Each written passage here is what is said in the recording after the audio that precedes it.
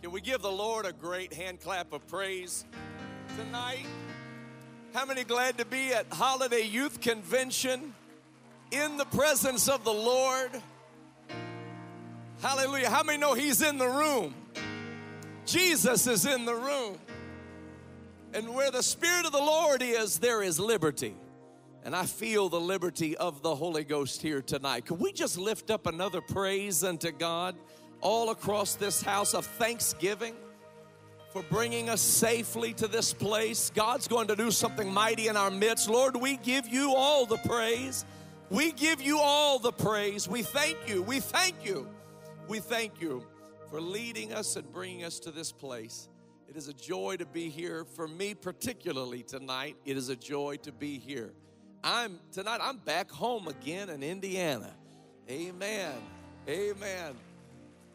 I uh, I have uh, Hoosier in my blood, and it is always a joy to be in Indiana and to be at the Holiday Youth Convention. Many memories uh, for me of holiday youth conventions and youth camps, and to be a part of this year. What a crowd!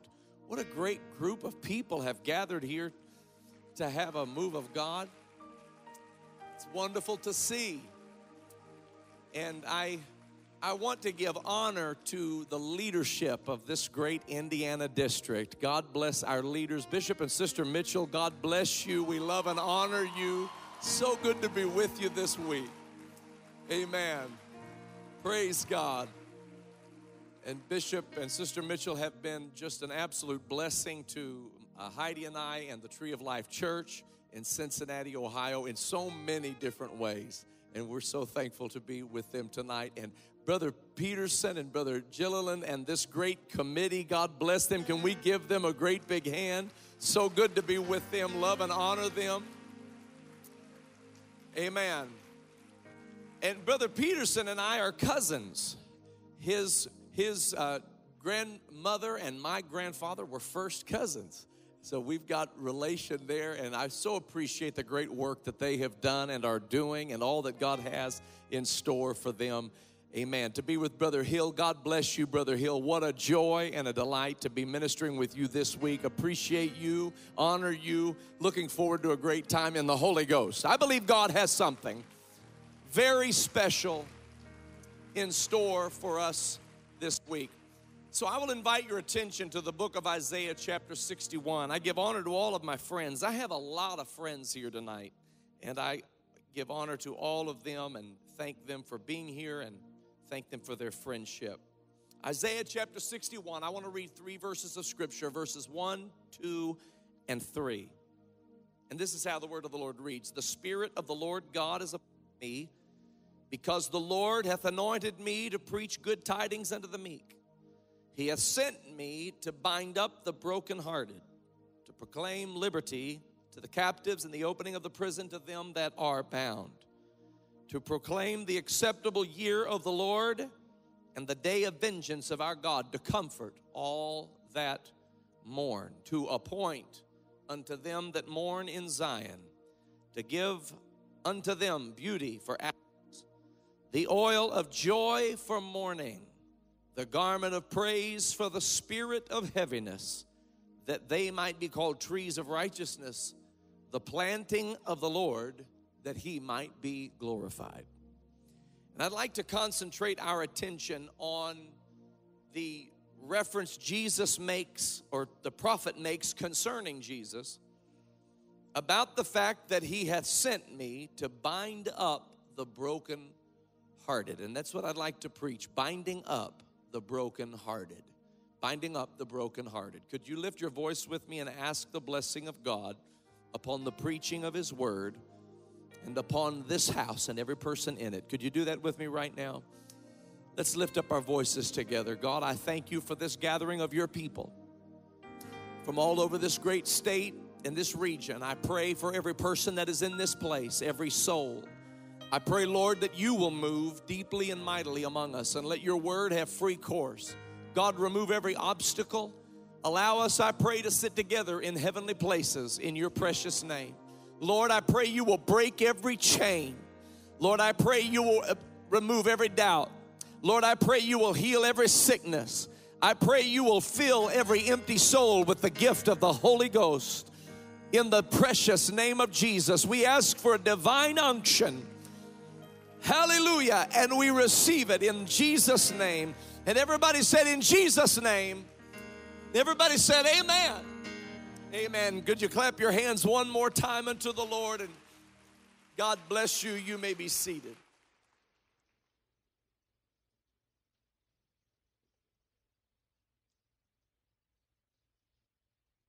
So, this passage of scripture that I have read to you and in your hearing tonight is what we call a messianic prophecy. By messianic prophecy, we mean these are prophecies about the coming Messiah.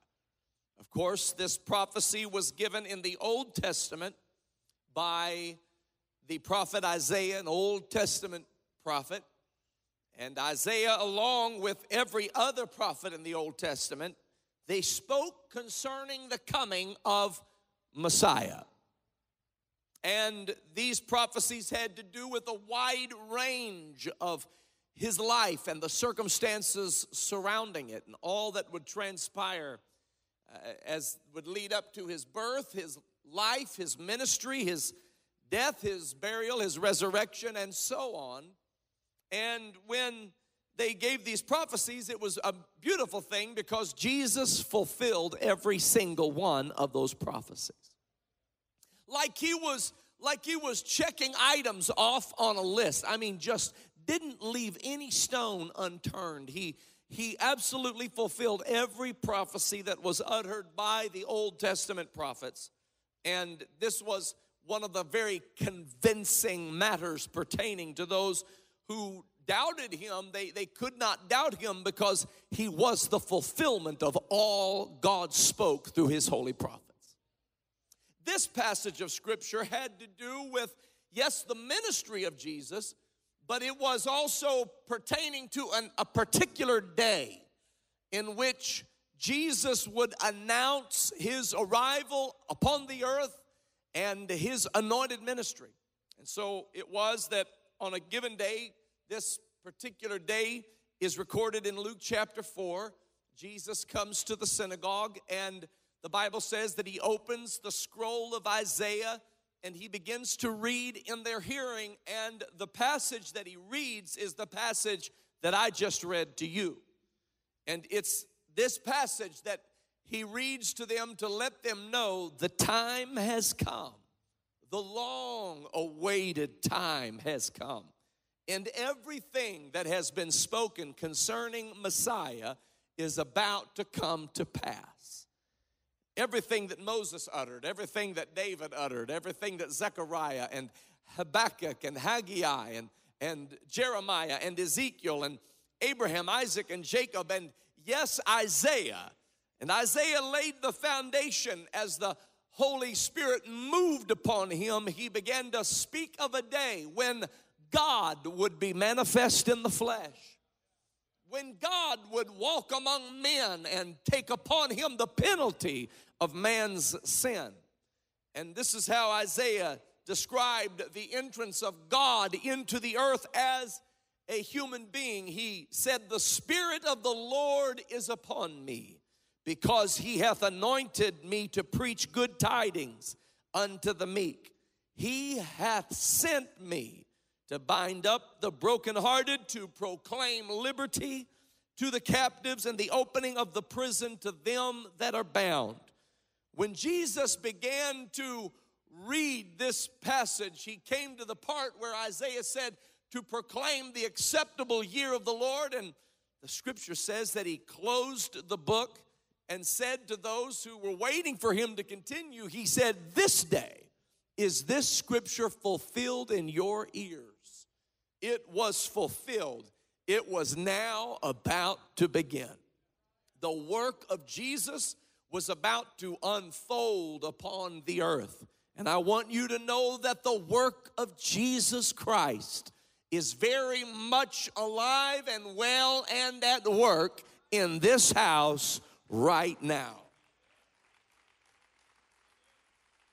And he has come particularly I want to I want to concentrate and zoom uh, uh, zone in and hone in on this particular statement that he has come to bind up the brokenhearted. People are heartbroken. People who you never dream have any kind of an issue are, in fact, brokenhearted. People who look like they have it all together, they don't have it all together.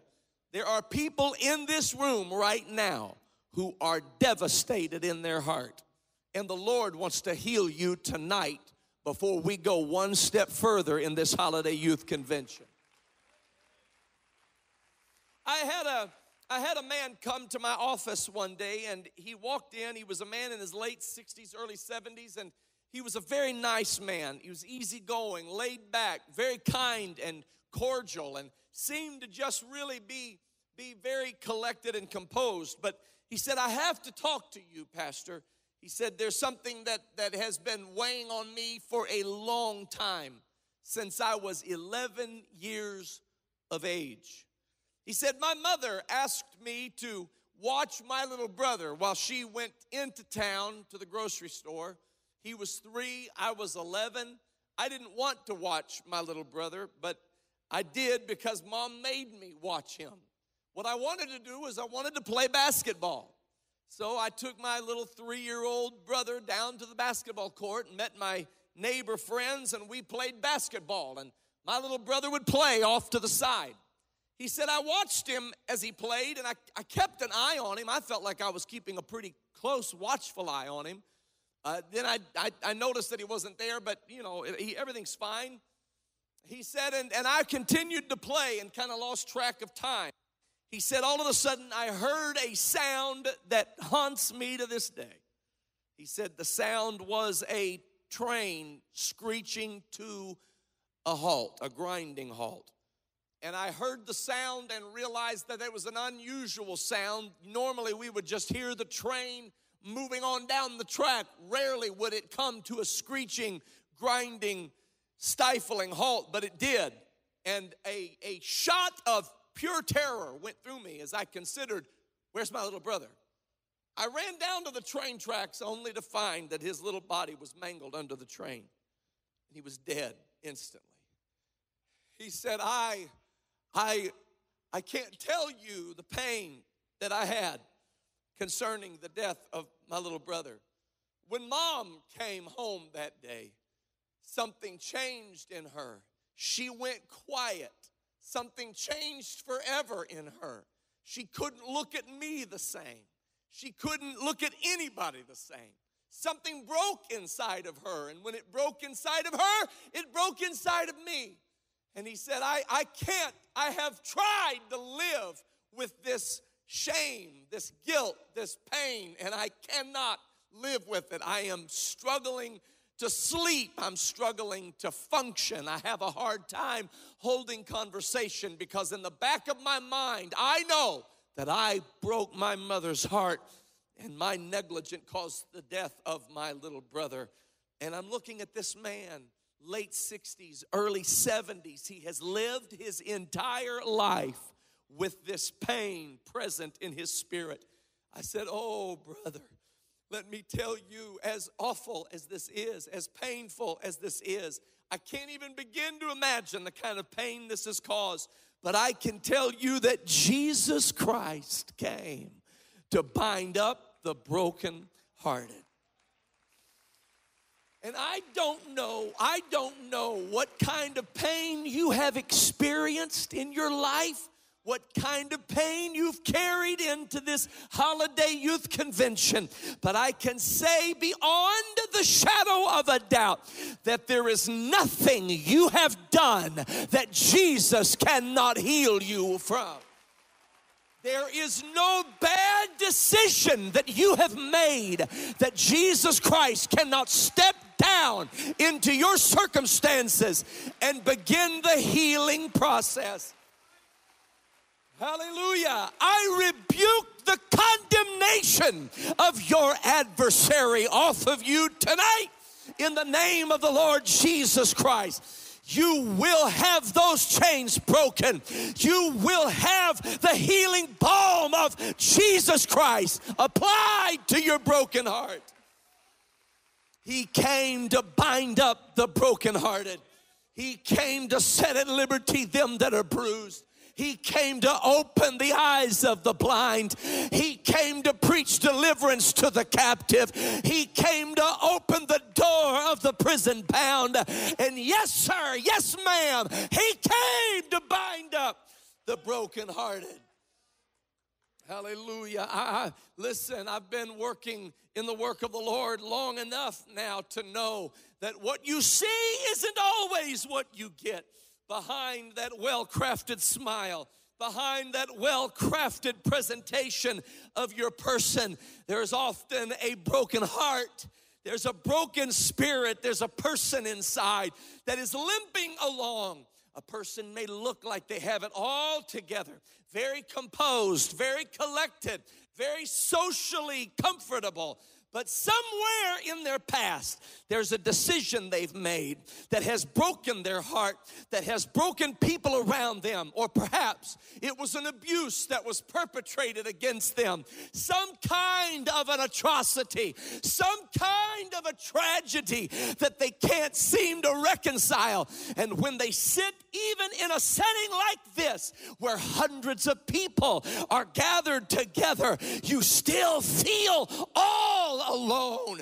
You still feel like nobody understands. You still feel like an intruder, like an imposter, like, like you don't belong here because nobody here knows what you've done and what's happened to you, and you feel broken on the inside. Well, all of that's going to change tonight in the name of Jesus Christ because God is going to heal you. You are not alone. Jesus is with you. I said, Jesus is with you. And furthermore, everybody else in this room knows what it feels like to have made bad decisions and to have committed sins and transgressions. Everybody here knows what it feels like to have their heart shattered in such a way that they don't feel like they could ever really recover. But you're going to recover. It starts tonight. He came to bind up the broken hearted. We've got to deal with our hearts tonight. We've got to get down on the inside and deal with that heart. And how do you do that? How do you deal with the heart? Because you can't even see the heart. The heart I'm talking about is not a heart that you can see on an MRI, it's not a thing you can detect with an ultrasound. It's not something that you can, can, can survey with an echocardiogram. You can Google, go ahead and Google the great heart specialists of Fort Wayne and of Indiana and of the Midwest, and not one of them as talented as they are, as brilliant as they are, none of them will be able to deal expertly with the heart that I'm talking about tonight. This is a heart you cannot see. This is a heart you cannot physically touch. This is a thing that is real. It exists. It is very present. It surrounds you. It is the center of your whole world. And yet, you can't find it on an x ray. You can't locate it with feeling after it with physical fingers. There is nobody who can deal with the heart except one except one, except one. And I'm glad to tell you, he's in the room. I'm glad to tell you that he's in the room. There is only one who can deal with the heart that I'm talking about. His name is Jesus, and he deals with the heart.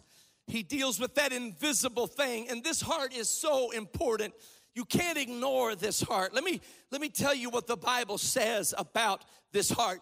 This heart is so important that if a man thinks in his heart, that's what he is. As a man thinketh in this invisible essence called a heart, That's what that man is. Doesn't matter what he says with his lips. Doesn't matter what she says with her mouth. It's what's being thought about in the heart that determines who that person is. This heart is so real and so difficult to, to really encapsulate and understand. So much so that a person's lips can praise God, but the Bible says their heart can be far from Him. This is what the Bible says about your heart. The heart is deceitful above all things and desperately wicked. So it's nonsense what the world says about follow your heart. You don't want to follow your heart. The heart is deceitful above all things. I want you to think about that for just a moment. It is not just deceitful, it is deceitful above all things. You've not met a devil more deceitful than your own heart. You've not encountered a temptation more deceitful than your own heart. The heart is deceitful above all things. It's more deceitful than the serpent in the garden. The heart is deceitful above all things, and it is desperately wicked. Who can know it? That's not just a rhetorical question in the sense that we understand we cannot know it, but it's all there's also an answer to that question because there is one who knows our heart. He knows who we are. He knows what we think. Our thoughts are not elusive, invisible little flashes of imagination. To him, it's like a screenplay. He sees every thought, he sees every intention of the heart. He knows all about us. This is how profound and powerful the heart is. You can, you can say what you want, but one day, out of the abundance of the heart, your mouth is going to speak. One day it'll just it'll just fly out.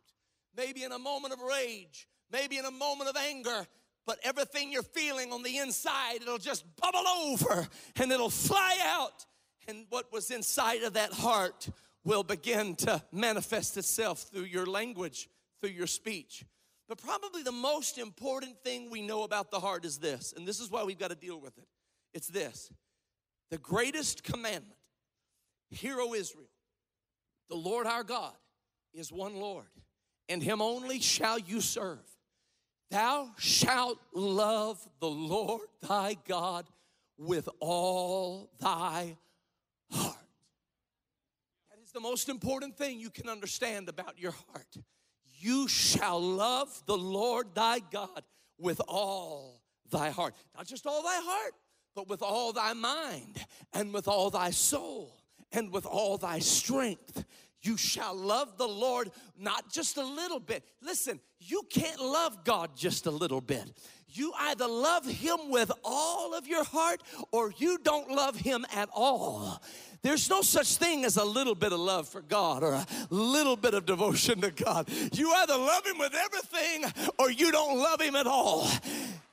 That's what love is. And, and let me just tell you something you cannot love God with all your heart when your heart is broken. Because when your heart tries to do something in its fullness and wholeness and totality and its allness, if you please, with all of your heart, you can't love God with all of your heart when your heart is broken. And we're living in a broken-hearted generation. We're living in a world of broken-hearted people, people who are unable to love God with all of their heart because somewhere there's a dysfunction in their heart. It manifests itself like this. You may have heard somebody talk about giving a half hearted effort. We give half hearted efforts when our heart is broken. Maybe you heard someone talk about the fact that a person is two faced or double tongued or that they talk out of both sides of their mouth. This happens when their heart is broken. Their heart is speaking, and out of the abundance of the heart, the mouth is conveying what is inside the heart. And when you're with this group of people, you talk this way. But when you're with this group of people, you talk that way. It's a broken heart we're looking at. Double mindedness is a condition and a symptom of a broken heart. A double minded man is unstable in all of his ways. He's double minded because somewhere the heart got broken. I don't know where your heart was broken, I don't know when it first started, but for most people, it happens like this it's not all at once most of the time it's it's a little bit here and a little bit there a little chip of the heart will will, will, will be will be uh, uh, kind of cut off from the heart and and, and it'll fall onto the playground of your kindergarten when you're bullied. And, and then in second grade, there'll be another chip of the heart, and there'll be rejection, and there'll be betrayal, and there'll be slander, and there'll be hurt, and there'll be abuse, and chips of your heart are just falling off left and right. And because you can't see the heart, you can't see the pieces when they fall but they're there. They're scattered. They're littered around the landscape of your childhood and your past. It's all over where you were hurt, where you were wounded, where people spoke evil of you and ill of you, where you made mistakes and where your heart was broken. When people broke your heart, when you broke your own heart, when you hurt others and wish you wouldn't have. And so your heart is just lacerated. The Bible refers to a condition called hard hearted. Pharaoh is probably the most infamous of all uh, people who were hardened in their heart. His heart was hardened. The hardened heart is a condition that happens when our heart breaks and we try to heal it ourselves. It's scar tissue. Scar tissue begins to form around our heart and it becomes hardened. And we've tried to heal ourselves. We've tried to cope with our broken heart. We've tried to somehow make sense of it and live in a certain way that we could we could get through a function here and there and maybe fool people into thinking we're confident and that we're comfortable and that we're we're happy and and we we just cope and we deal and we try to we try to kind of muster up the courage and strength to get through one little leg of life after another. But the whole time, scar tissue is building because the heart is not in the hands of the great physician, it's in your amateur hands, and you're not doing a good job of healing your heart.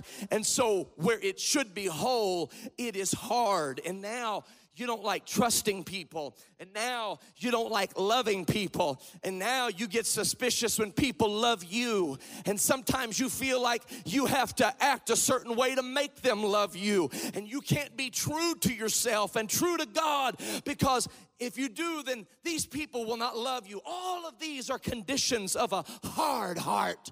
Maybe you've heard of the term cold hearted. This is a person where the blood stops flowing through the heart and it's dead. It's basically just dead and it's cold as death. We use the word warm to describe a personality. Why? Warm is a temperature gauge. Why would we why would we use it to describe a personality? I'll tell you why. Because when we come in contact with a person who has a whole heart, a person whose heart has been healed, and they extend to us a love and a comfort and a grace that we're not used to feeling from people, we feel warm on the inside. It's the blood flowing through that heart. It's a whole heart that you have encountered and it warms you. And so you might walk away and say, They were so warm and kind and gracious. You were dealing with a healed heart. Ladies and gentlemen, I want you to know it's time to deal with the heart. No more facade. No more charade. No more faking it till you're making it. Because I've got news for you. You're not making it, you're just faking it. No more trying to get by. It's time to get honest. It's time to get real. It's time to say, God, I need you to do a work in my life. In the name of Jesus, every person in this room whose heart has been broken, I declare to you that God wants to bring a healing to your life and it's going to bless you for the rest of your days and it's going to bless your family and it's going to bless your marriage and it's going to bless your children. It's time to let God heal your broken heart. Ah, hallelujah. Somebody said, How do I let God heal my heart? You know, here's the thing. I don't, I don't know how to deal with the heart, neither do you. The only one who does is Jesus. So you literally, you literally have to say, Lord, I don't know how to do this. I don't know how to go pick up the heart and put it in your hands, but I'm giving you my heart. I'm giving you everything. Lord, I hold nothing back from you. Take from me all of the sin and the guile and the shame. Take from me all of the hypocrisy, all of the pride, all of the lusts of my flesh. Take it from me. Help me to repent from my sins. Let me give to you my heart.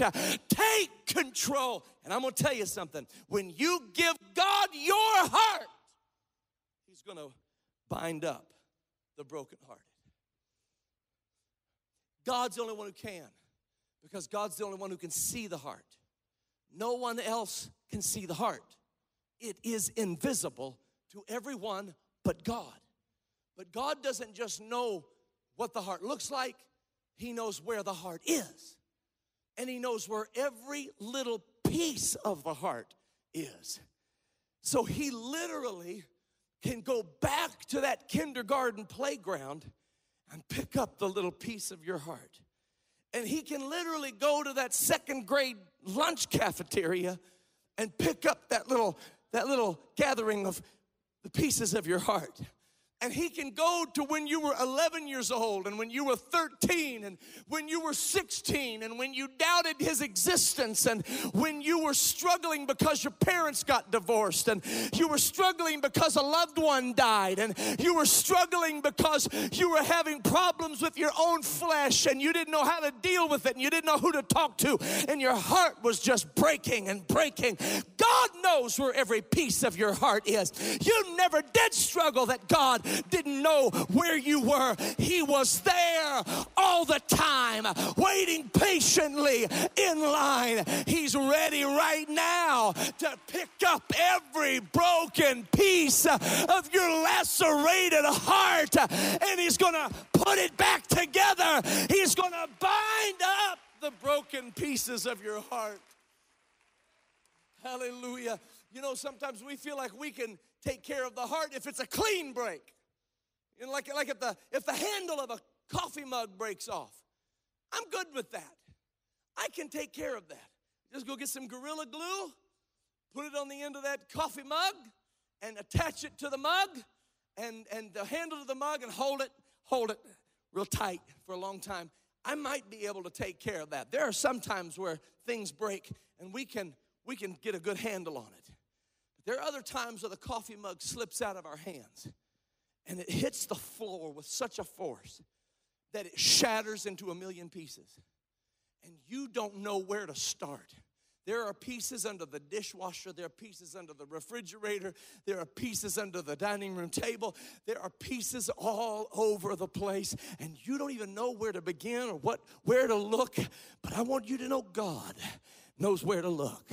Jesus Christ has come to bind up the broken-hearted. He's going to scoop down into areas of your life you didn't even know were broken, and He's going to put you back together again. He's going to reach down into memories that you don't even remember having, and He's going to put you back together again. He's going to heal you, He's going to set you free, He's going to lift you up. He's gonna break every chain off of you and give you peace of mind and give you the ability to rest well at night. You know what I need right now? I need a witness in the house who knows that what I'm saying is true. I need a witness in the house because the jury is out for some of these people who have tried everything and everything has failed. But if there is a witness in the house that says, Let God be true and every man a liar. Hallelujah. Hallelujah. Hallelujah. How many remember when he put you back together? How many remember when he bound up your wounds? Here's what he'll do he'll scrape up all the broken pieces and he'll put it back together miraculously, just fitly framed, and he'll hold it together. You'll squirm and try to get away from his grip. Don't. He's holding you together. You'll, you'll, try to get away from his command. You'll try to get away from his authority. You'll try to squirm away and be disobedient. Don't, don't be disobedient. Let him hold you together. He's making you, hallelujah, who you really are. He's gonna heal you of the confusion. He's gonna heal you of the addiction. He's gonna heal you of the condemnation. I'm prophesying right now. Somebody needs to believe it in Jesus' name. He He's going to heal the broken areas of your heart.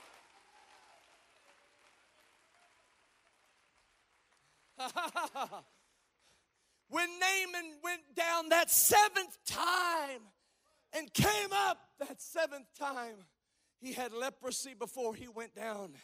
But when he came up, the Bible says that he had the flesh as of a child he wasn't just healed of his leprosy, he was restored back to before the leprosy ever came. The Bible says he had the flesh of a child. This, this is amazing. This, was, this wasn't just before leprosy, this was before scars. This was before lacerations. This was before acne. This was before any kind of a, of a problem on his skin. He had the flesh of a child. That's what Jesus will do for you. He'll return you. He'll return you to before the abuse ever happened. He'll return you to before the mistake was ever made. He'll return you. Hallelujah. I want you to know He'll make you in His image. He'll make you just like Him. Somebody ought to dance like the weight has been lifted. Somebody ought to shout like the chains have been broken.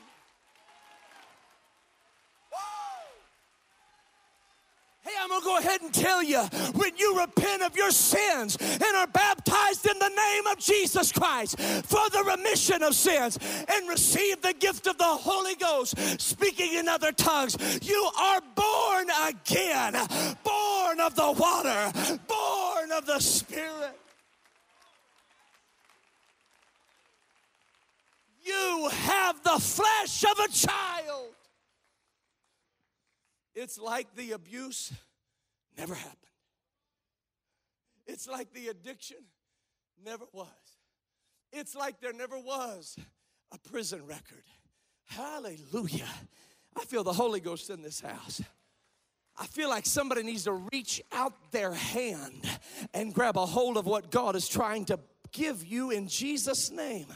All across this house, lift up your hand unto God and say, God, I believe, I believe, Lord, I believe you're trying to give me a healing right now.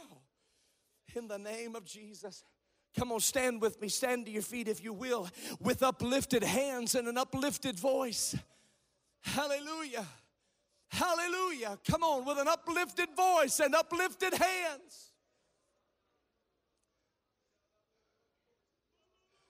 Hallelujah. Hallelujah. Here's what I want you to do I want you to give it to God right now. I want you to be honest with Him. Say, God, I don't even know how to do this. I don't even know what to say right now. But Lord, all I know is I need you to take my heart. I don't even know what that is, but you know what that is. I need you to take the broken pieces of my life and help me. Help me, God. Ida barandolo mohoshataya. Hallelujah. Weights are falling off of you right now. I said, weights are falling off of you right now. Something's shifting in your world, something shifting in your mind. The devil is losing his grip on your mind. He has convinced you that you are irreconcilable, but we rebuke that lie in the name of Jesus. We rebuke that deception in the name of Jesus. Uh, the Spirit of the Lord is upon us because He has sent us to bind up the brokenhearted. I want somebody to run to the front of this house and say, God, it is me. It is me. I need my heart put back together. I need the broken parts and pieces of my life put back together.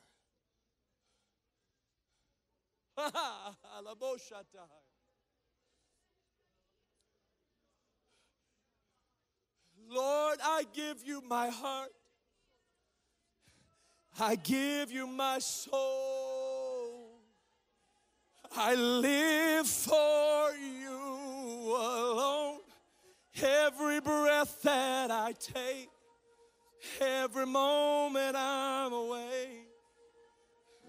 Lord, have